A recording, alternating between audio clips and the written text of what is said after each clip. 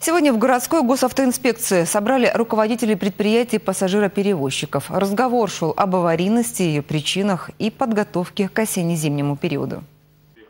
По данным ГАИ, на протяжении 8 месяцев этого года уровень аварийности на территории региона с участием водителей фирм пассажироперевозчиков вырос на 20% по сравнению с аналогичным периодом прошлого года. В абсолютных цифрах в этом году произошло 36 аварий, тогда как в прошлом году их было 30.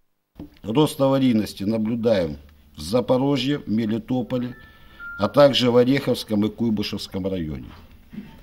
Особых позитивных тенденций нет э, по стабилизации аварийности Энергодар и Токмак. Состояние аварийности на уровне прошлого года. Кроме того, Незначительно повысилась аварийность по вине самих водителей. На сегодняшний день произошло 13 таких дорожно-транспортных происшествий. В прошлом году их было 12. Рост составляет в относительных цифрах 9%. Особенную тревогу вызывает ситуация, которая сложилась в областном центре. Если учесть, что в Запорожье эксплуатируется не больше 60% от общего числа лицензируемых автобусов, то на город Запорожье приходится 100% всех происшествий, которые произошли по вине водителей. По статистике, за 8 месяцев 2013 года в ДТП с участием пассажироперевозчиков погибли 5 человек, в 2014 – 4. Травмы получили 45 человек, а в прошлом году 88. Но все это, говорят в ГАИ, не дает поводов для ослабления контроля.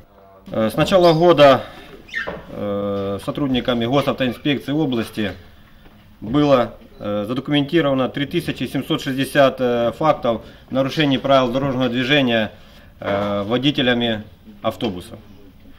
Самое интересное вызывает удивление то, что среди этих 3700 фактов 30 фактов управления водителями автобусами в состоянии наркотического или алкогольного опьянения.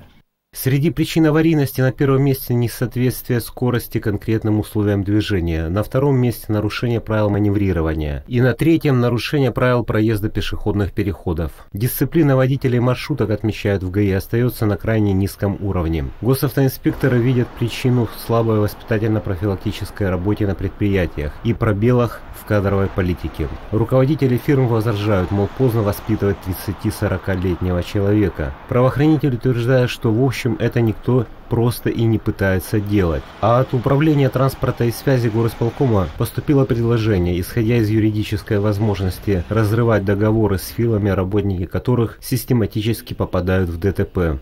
Протокол составлять на лицензиата, на юрлицо ну там как-то там, тогда точно в суде у меня не будут глаза, я не буду глазами блымать и рассказывать, что мы дураки. Участники совещания также обсудили вопросы технической подготовки транспортных средств пассажироперевозчиков к осенне-зимнему периоду.